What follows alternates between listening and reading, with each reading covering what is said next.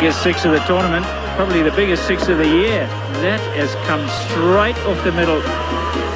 Didn't worry about the stands, it went straight out of the ground. That's gone many a mile. I wonder if we'll ever get that ball back. We'll have to come back with a bus ticket on it.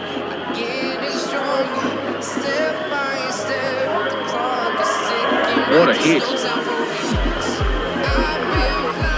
And that has hit the windscreen. Just found a white cricket ball in the front seat. Just giving himself a little bit of room for the arc, and that has come dead set off the middle. It's almost like a golfer's follow through. Didn't